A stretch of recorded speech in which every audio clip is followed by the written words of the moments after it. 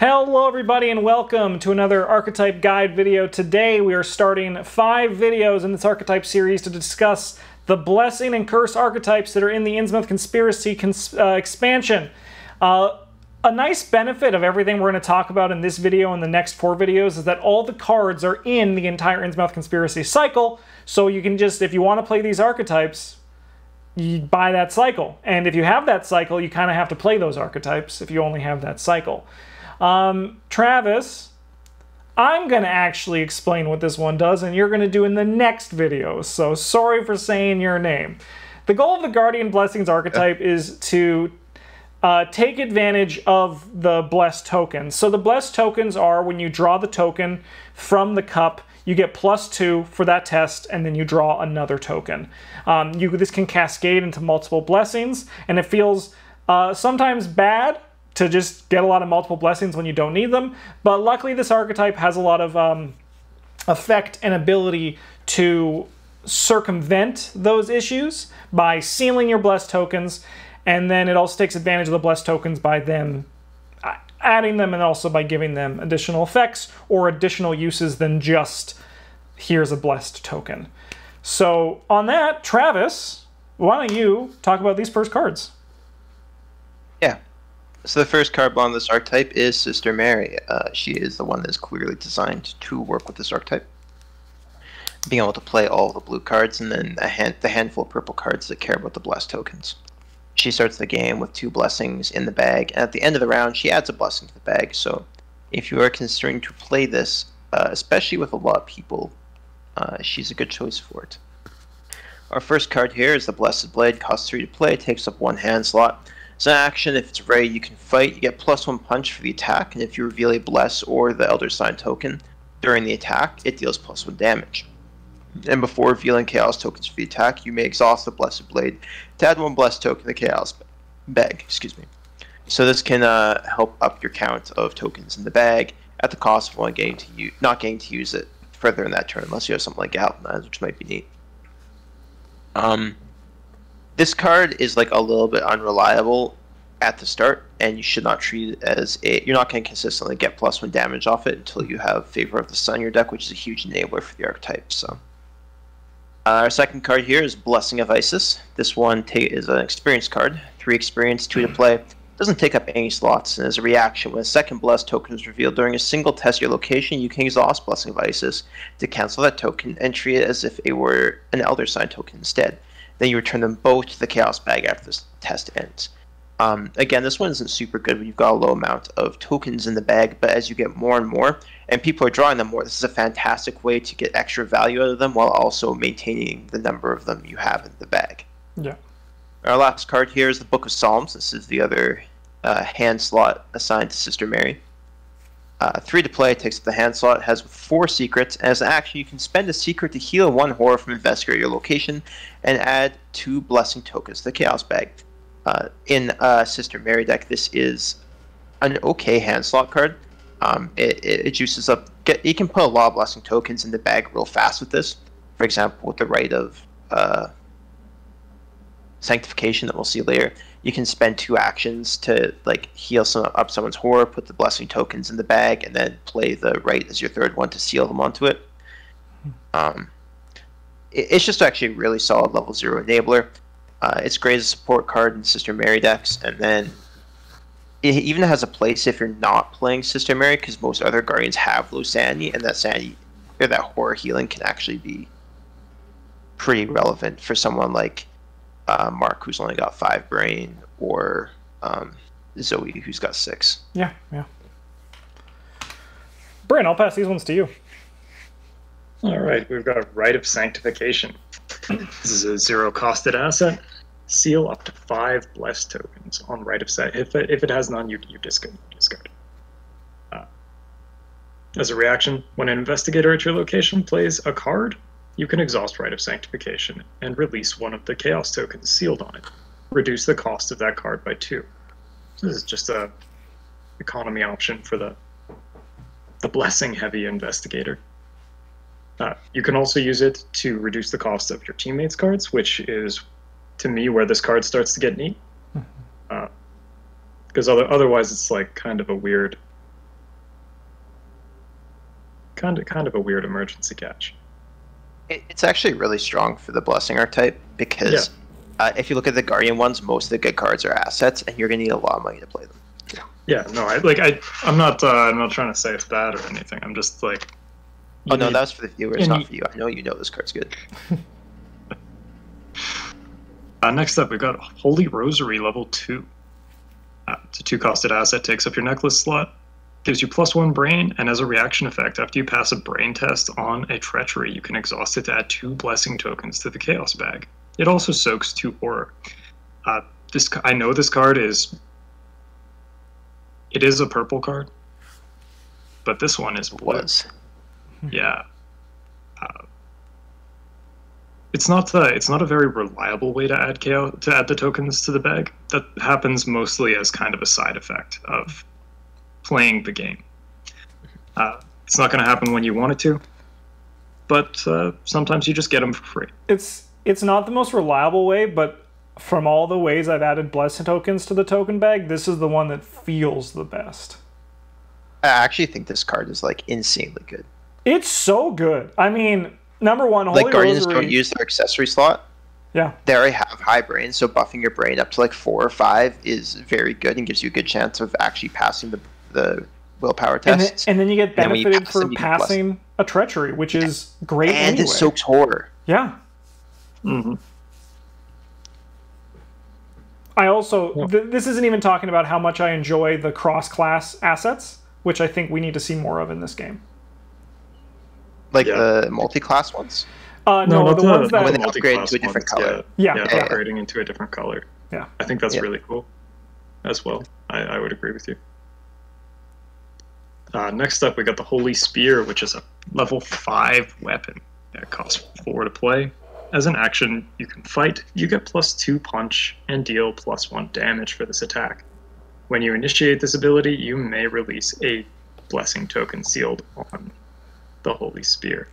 As an or as an action, we can search the Chaos Bag for up to two blessed tokens and seal them on the Holy Spear. Fight, we get plus four and deal plus two damage for this attack. takes up two hand slots, but uh, I think this does a re- pretty reasonable job of filling the big weapon fantasy hmm uh, that I'm sure many of you have had when you sat down to play a blue character. God, I just yeah. It just it just does a bunch of damage and it does it pretty reliably. Yep. You even get to put the put the tokens back sometimes. Yeah, yeah, because it doesn't return them to the token pool; it releases Yeah. them. So that's sick. You expect Yeah, a lot for five experience, and this card does deliver. yeah, Yeah, yeah, and al- like also at no point does it uh, does it ex- exhaust for its effects. hmm So it is kind of just like machete eat your heart out. yeah. It's just better. But I mean, Well, as, it takes as- it takes up two hand slots. yeah, as but- Travis said, for a five experience, two hand slot weapon, it better be freaking good. Yeah, like it has to compete with like flamethrower and like guns. So hmm Uh, then we got Nephthys. Nephthys. She's a three-costed level four ally who gives us plus one brain. As a reaction effect, whenever one or more blessing tokens would be removed from the chaos bag during a skill test, we can seal them on Nephthys instead.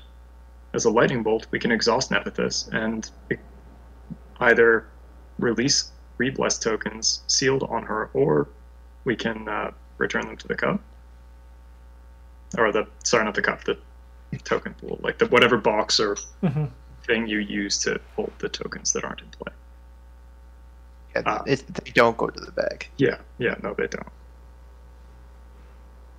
Uh, yeah, so we can we can either either put the tokens back, or we can put them back in the cup, like remove from the game, to deal two damage to an enemy at our location. Uh, I think she soaks two and two. She seems fine. Uh, plus brain is always good, and either one of the uh, either one of the options on her seem good. hmm Like either you get to keep your tokens in the bag, like because you don't want to remove them for reasons, or you get to do damage without a test or an action. Yeah, and I, I think what's also really nice with Nephthys is the fact that it makes your blessed tokens do more than just plus two, which is nice, right? Because they're not reliable without uh, favor of the sun, as Travis was saying. So having them, if a case where someone, uh, your teammate grabs uh, two blessed tokens out there, now you can be like, hey, Nephthys, hold on to these, and then we're gonna d- deal two damage to an enemy later, and like that is really nice. All right, we got Sacred Covenant, which is like a juicy must buy of this archetype. It's a permanent, uh, so it's always in play. Two, two experience. You can have one Covenant per deck. As a reaction, after an investigator at any location performs the Reveal Chaos token step of a skill test, you exhaust Sacred Covenant and return any number of Blessed tokens revealed during this test to the Chaos bag, ignoring their modifiers for this test. So if you need those Blessed tokens to pass the test, don't return those ones because it will put you to a failing number. However, if you ever reveal enough blessed tokens that don't actually help you pass the test and they're just there wasting space and Nephthys isn't in play, you could just say, hey, Sacred Covenant, let's put those back into the cup. This is ensuring that you actually get use out of your blessed tokens as opposed to just wasting them. It's a very high priority buy for this archetype. Shield of Faith is a two cost asset, takes up a spell slot, two experience, commits for guts. Seal up to five bless uh, tokens. If Shield of Faith has no tokens sealed on it, discard it.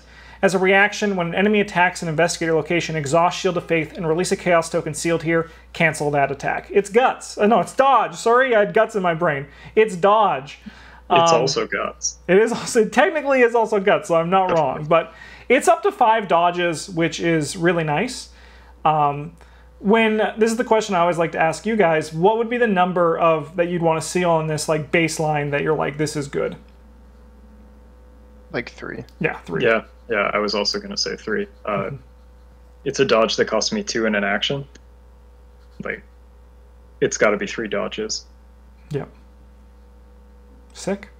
Hand of Fate here. This is actually just dodge. Uh, it's a three cost event. also, it, sorry, it doesn't cost you the cards too, though. Yeah, it doesn't. It does not cost you Yeah. the cards. That is that is worth noting.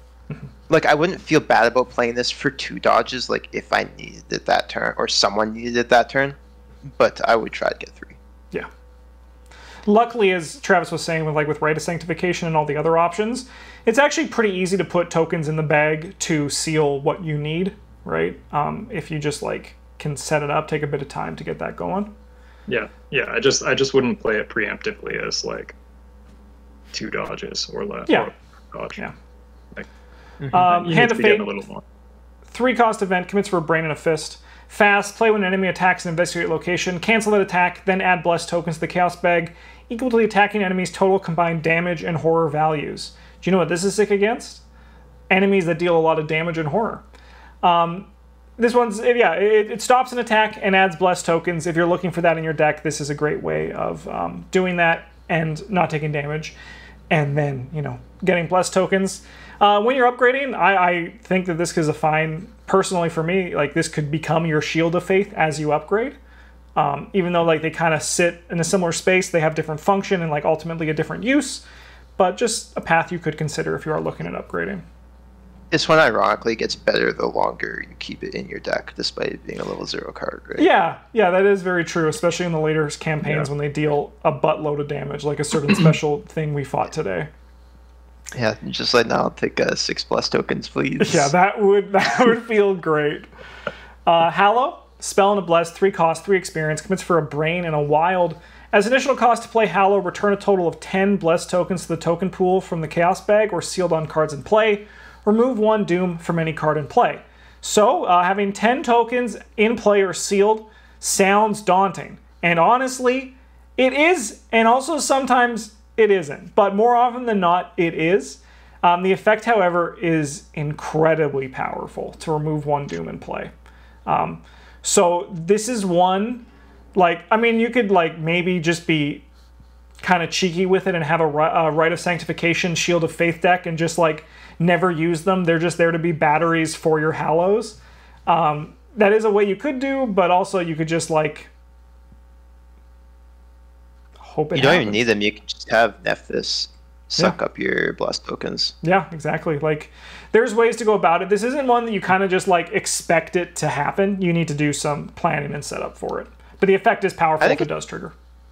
I think it's a neat card for like it's a fine card for three experience in these decks where you can like actually just sit there and let Nephthys soak up Mm-hmm. your extra blessed tokens and you know if you ever happen to have the opportunity to play this you're like yeah sure we'll buy ourselves another turn Yeah, it's basically canceling ancient evils which is good and then if you're you're like i need these for other things you know it's guts Yeah, and like yeah, it's like a good one of right. Like you just ha- you don't expect it to happen, but if it ever does, you're like sick. The art's nice too. Yeah. Travis, go for it. uh this is man, i don't know what these ones do All right, I could I could take them. I know these ones. Uh, you Radiant. Smite, fight. It's a one cost, one experience event. Uh, you may use your brain instead of your fist for this attack. When you initiate this attack, search the Chaos Bag for up to three Blessed tokens and seal them here. For each Blessed token sealed on Radiant Smite, you get plus one skill value and deal plus one damage for this attack. If this attack defeats the attacked enemy, return the sealed tokens to the to- token pool, otherwise, release them. So, uh, you can get up to four damage with this card, and then uh, up to a three increase to your skill, which can be either brain or fist, depending on what's higher. Um, and then if you defeat the enemy, uh, those token pools, the tokens get to return to the token pool. But if you don't, so if this is like your first shot on a five health enemy, all those blessed tokens go back into the bag. So this one's like kind of like in a weird space where, like, if you have to use it to kill an enemy, it's not the end of the world because you can just put those tokens back in. Um, however, if this can just be like your first shot against the enemy, Radiant Smite is nice and powerful for that. Righteous Hunt here is a one cost, one experience event. You can engage. Choose an enemy up to two locations away, move one location at a time to that enemy's location, engage it, and add blessed tokens to the chaos bag equal to the enemy's horror value. So it's a one experience card. Uh, it gives you some mobility, some free mobility uh, as part of this, and then also an engage, and then also some blessed tokens if the enemy has a horror value. Remember, damage and horror value are separate, so that is just the brain icon's little boop boop on uh, Yeah. the enemy. Yeah, hey Travis, guess who's back? Because it's it's Lita. It is Lita Chandler. It's Lita Chandler. i thought it was going to be shady Uh, we got Manipulate. Destiny. This is a one experience, two, uh, sorry, a one cost, two experience event that commits for a wild. Reveal tokens in the Chaos Bag until you reveal a curse, uh, auto fail, a blessing, or an Elder Sign token. If you revealed a curse or an auto fail, deal two damage to an enemy or location. If you uh, have blessed or an Elder Sign token, heal two damage from an investigator or ally asset at your location. This action does not provoke attacks of opportunity. So with favor of the sun and favor of the moon, you can like stack the odds. Like I mean, not stack the odds. You can choose what result you want. Uh, otherwise, just uh, roll the dice, right? Have some fun. See what happens. Yep. This card is like pretty neat. There's some weird. Per- no, uh, I'm not going to get into it. I'm not gonna get into it. One thing I like about this card is the name Manipulate Destiny, where it's not actually describing what you do, it's what they want you to do. Yeah, yeah. They're like saying, Yeah. don't just have. Yeah, you manipulate this Yeah. card. Yeah. There's Yeah, a- for this one, I, I don't think that this is like. It is an option for your blessing decks, and it, it's here because, like, you can play investigators that pl- can play Guardian Blessings alongside Curse tokens. Mhm. I think it's better not if you can do the damage because the healing is like it's fine, don't get me wrong, but it's it's not as good as some of the other things you could be spending your experience on. If you're just doing like basically a pure blue blessing deck. Yeah. I think it does depend on what the ally you're healing looks like. hmm Yeah, if it's Because you beat top, it's probably you sick. don't really want to be healing an investigator. Yeah. Not really. No, that means like you're it's it's fine if it if it means if it means they don't die this turn. Like that's sure, Mhm. that's not the worst thing ever. Uh, last one on this page, we got Tempt Fate, zero cost. Event commits for a wild, fast play during enemy lightning bolt window. Add three curse tokens to the chaos bag, then add three blessed tokens to the chaos bag, and draw one card. Not much here to say except a way to add curse and blessed tokens. Uh, the neutral cards were included in all these guides just because they fit with the archetype. I know you can say, but Justin, you didn't use other neutral cards in the past. And to that, I say, true. Travis, why don't you take this This is last one? Actually, Yeah, no, this is why we're 'cause- the neutral ones is exactly because favor of the sun for the blessed token, blessed decks and favor of the moon for the cursed decks are so important to them. Yeah. Uh, It's actually kind of a shame that they came out so late in the cycle, but so this one is two to play, costs one experience put in your deck. It's fast, doesn't take any action. You seal up to three blessed tokens, and if there are no tokens on it, you discard it. as a reaction, when you reveal a token from the bag, you can exhaust Favor of the Sun to draw a bless instead. You will still you will have to keep drawing other things, but like You got the blessed, which is needed for a lot of your abilities. which is what you want. Yep. Um, this is just it's just a battery. Yeah. ensures that your blessed blade deals extra damage. Uh, it works for like Hallow. Um, yeah, no, you just you just Yeah. get the plus like it gives you plus two when you want it. Yeah, as you said, it's just an important card for the archetype. All right. All right, I can talk about the synergies. So, this synergizes with Survivor Blessings. Pairing up with another blessed token focused archetype allows for more access to adding and benefiting from blessed tokens. So, if you have more ways to add and uh, more things that trigger when you draw a blessed token, the happier you or other players playing this archetype will be. This one's a little bit cool too, where the synergy kind of goes between players as well. Like if I'm playing like a succeed by X rogue build, Travis does usually doesn't give a crap about that, right? Like he's playing hand size, right? With this with these archetypes, they kind of cross over into one another. Uh, speaking of the rogue succeed by X, blessed tokens add plus two to a test, making it more likely for you to succeed by X because normally it's succeed by two. Wow, it's almost like it was designed that way. Well, last thing it synergizes with is curse tokens, which sounds a bit crazy, yeah, but blessed tokens have the chance of balancing out curse tokens, and additionally, you can also focus on the par- paradox build, which is like the mystic side of this as well. And on that, There's also like Oh. a couple of cards like uh, Tempt Fate that support both of them, yes, and you can get like maximum value out of them by kind of dipping into both a little bit. hell yeah. Travis. All right, everyone at home, I want you to guess who the investigator is for this deck, by the way. I'll give you a few seconds. Get your little your thing shot up in your head, your idea. This is going to be the investigator. Travis, take it away. Vern, I thought of you when I made this deck. It, it's the God Warrior Zoe. uh, because like yeah, you could build Sister Mary and just put all the blessed cards in the deck, but that's boring. Mhm. So anyway, we got uh, this is a nice chunky 36 experience. Um, as usual, there's lots of things you can skip on till the later game and stuff, but uh, we got our Blessed Blade uh, for fighting with, as well as the Holy Spears. Um, and Book of Psalms helps is your other hand slot to help put blessed tokens in the bag. We got some bandoliers, so that way you can carry your spear and like another thing too, your Bible too. You need that. Um, we got Rite of Sanctification to afford the million assets that this the 19 assets that this deck is playing. That's a lot.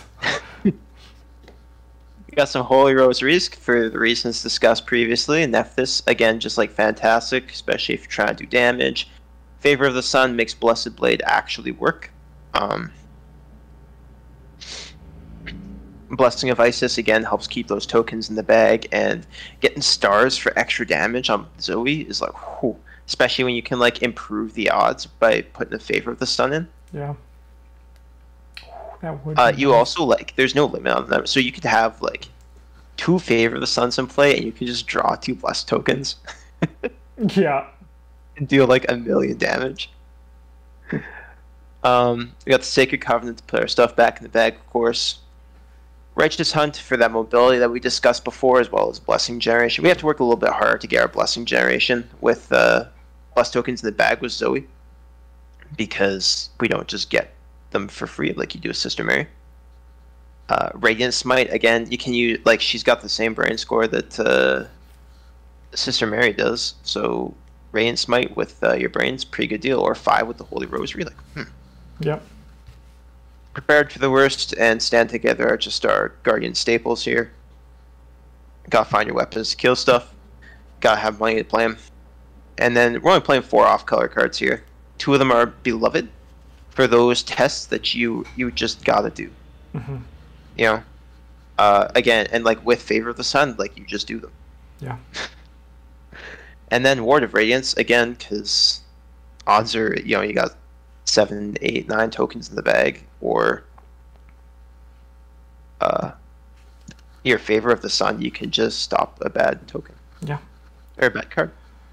Um, one thing that's really exciting about this deck is um, with Sister Mary, she's she's fun, and with the Bless archetype, that's nice. Um, but like she's not like a consistent fighter in the way that a lot of other Guardians are. And just seeing this Zoe deck, I'm like, oh yeah, like this. Like uh, I think Holy Rosary is like a priority upgrade for this deck as well because that's a great way to ensure you're getting Bless tokens in the bag. Um, and because you'll be at five brain, which is fantastic. You get Nephthys in play later on in the campaign. You're at six brain, as Travis said. Your Radiant Smite, you're now like attacking at nine, right? Like nothing will stop you. Like you are a god killing machine. Another thing that's great about Zoe with this deck, especially, as Travis said, it's expensive as all hell, and her resource generation is really nice. Travis, I think this deck's A plus. Like it's great. I think you both overlooked the best part about this deck, which is that you're playing Radiant Smite, and your weakness is Smite the Wicked. Oh, Oh you can oh my show up and right. actually smite the Wicked. You have to you have to save it for that. yeah, You have to you do it. You I mean, actually, honestly, on that note too, that's like some great like one action solving your weakness problem too. Like, yeah. Yeah, no, Righteous Hunt is also really good for that. yeah, Where like, because it, it spawns the guy as far away from you as it can be. yeah. This Uh, deck's a Righteous play. Hunt will help you catch up to it. yeah, this deck's a whole. I bet this could be like a. I think this deck could be a little bit rocky for the upgrades. Mhm. Yeah, like you yeah. would start off a little bit slow, but uh, once you got there, you'd be like, Yeah. I think a big thing is that like um she has a good damage output that even if your holy spear comes a little bit later, right? Like you'll still like be able to hit and kill things, right? No, yeah, like I think you want. I th- I think you want the rosaries and the favor of the suns early, Yep. and then, um, dep- if you have someone else who is like geared toward who can help you deal with monsters, picking up the Nephthys early isn't a bad choice. But Yep. if you if you are like the fighter of the group, you need those holy spears early. The Yeah, holy like- spears and the radiant smites, yeah. Whereas personally, I would just pick up the, the holy spears early because it doesn't matter if you got if you got the blessed tokens to make them work. You just get to you get to fight at six and an extra damage. That is a good point too. It's pretty it's pretty serviceable even without all the cool synergies. All right, Brent, I And mix- Nephthys deals damage too, though. Yeah, this is true, but she need she re- actually requires the synergies in order to work, right? Yeah. As opposed to the spear, which is just like, stabby stabby. yeah, you got Yes. you got you got punch number, we got punch number. So Brent, And, I like, expect you y- to play this deck because, as Travis said, it's the true God warrior, warrior Zoe. It even got a special name in the Arkham DB thing. It did. It wasn't just. I Guardian do like that you put blessed in brackets for me, though, Travis. You knew what I would be looking for. Yeah, yeah, yeah. All right, well, we're going to be back in a few days to talk about the uh, Seeker Cursed archetype, so we'll see you then. Uh, and then we're going to be doing all of the Innsmouth Conspiracy uh, archetypes, as I said. So we'll see you guys in the near future. Have a good one. And as always, GG's.